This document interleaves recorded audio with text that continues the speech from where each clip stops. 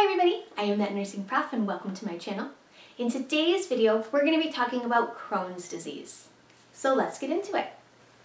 So first thing we need to know is that it is a type of inflammatory bowel disease. So there's inflammation that's occurring.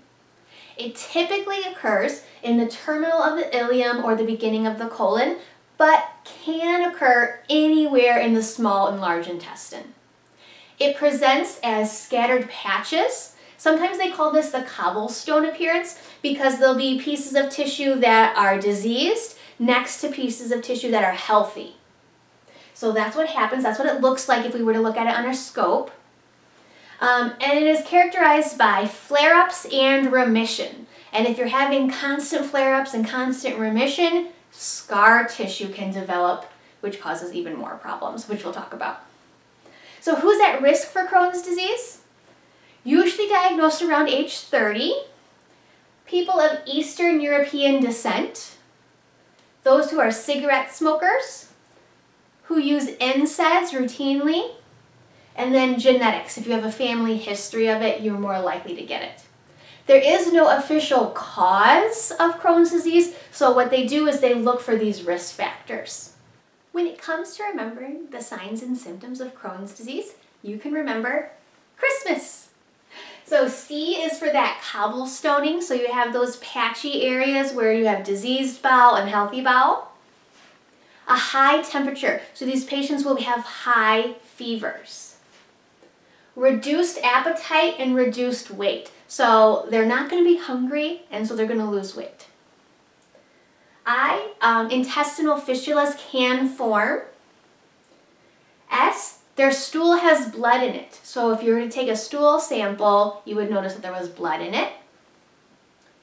T is for transmural involvement, so many layers of the bowel can be involved in this malabsorption, so they're not eating very much, and then when they do eat, that food isn't being absorbed properly, so they are losing weight and their body isn't as healthy. It's not using those nutrients in the way that it should.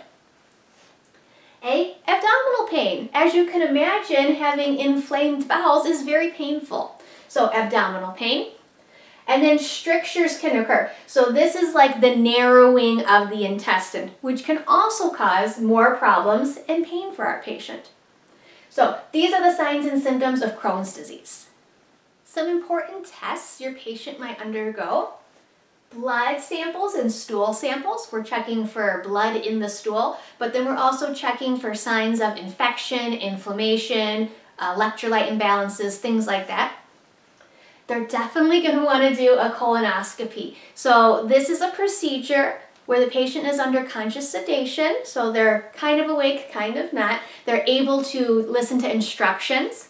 And we put the scope, so the camera, up their body, and then we can observe their intestines for those patches. They might want to do a CT or an MRI.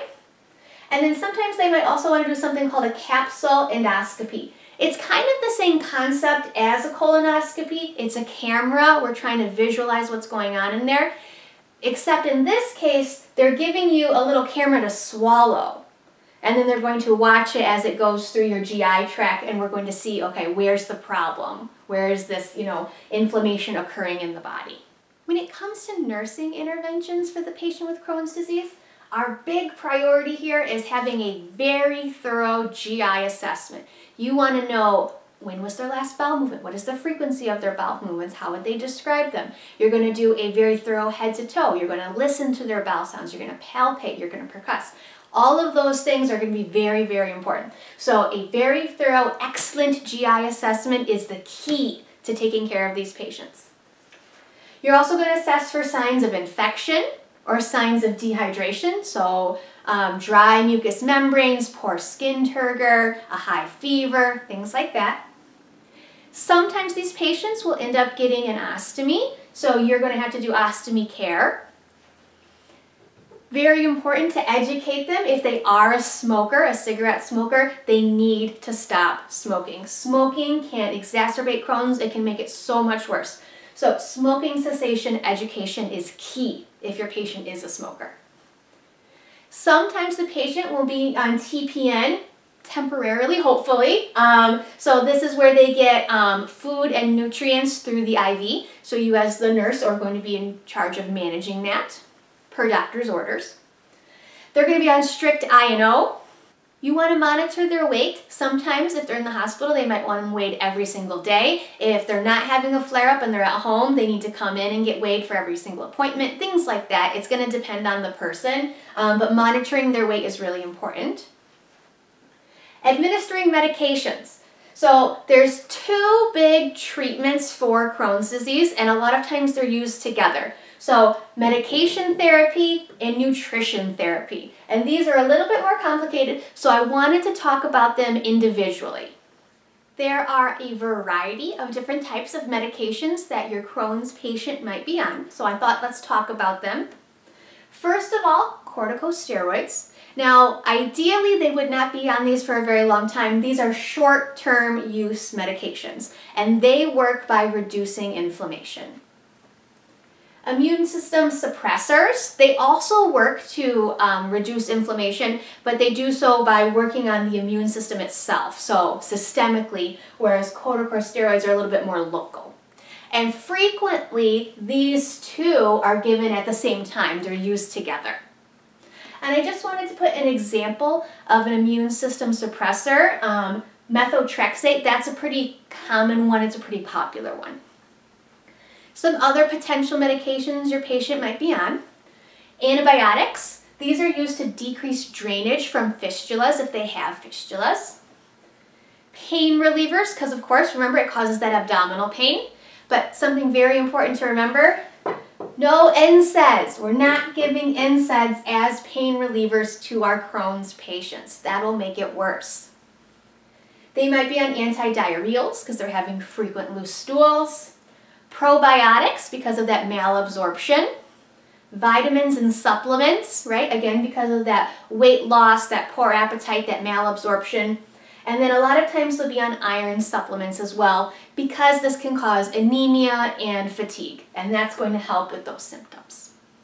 When it comes to nutritional therapy for Crohn's disease, a couple of things. Um, they may need to be on TPN, maybe temporarily in the hospital setting, or maybe they'll go home on it as well. We want to teach them to limit dairy products because dairy is very inflammatory. Teach them to eat small, frequent meals and to avoid foods that could trigger a flare-up, such as greasy foods, fried foods, caffeine, alcohol, things like that. You want to avoid those foods. Drink a lot of water. Patients with Crohn's disease will frequently be very dehydrated, so it's important that they get enough fluids in their body. So encourage them to drink a lot of water. Make sure they're getting enough carbohydrates, fruits, vegetables, and fat in their diet. Medication therapy and nutritional therapy are the two most common treatments for Crohn's disease, but there is another one not used as often that I did want to make sure I brought up in this video, and that is surgery. So what happens during this surgery is they will remove the portion of the bowel that is inflamed, that is affected, and they will connect the two pieces of healthy tissue together. This is not used very often because it's kind of like a temporary fix. It doesn't mean that a new portion of the bowel isn't going to get inflamed in the future. It's just something that works for a little while. It's helpful for a little while. So not commonly done, but it is something that does exist on top of nutritional therapy and the use of medications. So I just thought I'd bring that up. The last thing I wanted to talk about in this video are some potential complications that can occur. Some of these we've mentioned before. So we talked about fistulas can form, strictures, so the narrowing of the intestine, and that the patient will be malnourished because of malabsorption of nutrients. Other things that can also happen, an abscess can form, and typically they will have an abscess form and then that can turn into a fistula. And then fissures, which are like little tears in the lining of the bowel. So as you can imagine, these things can be very dangerous. They can lead to infection, malabsorption of nutrients, throws off your fluid and electrolyte balance. So very, very dangerous. We want to avoid these complications if we can. So that's why good treatment, good nursing interventions, good assessment, an excellent GI assessment is key into helping these patients. So that was my video on Crohn's disease. I hope you found this helpful. Don't forget to like and subscribe. If you have any questions or comments, please let me know, and if not, I'll see you on the next one.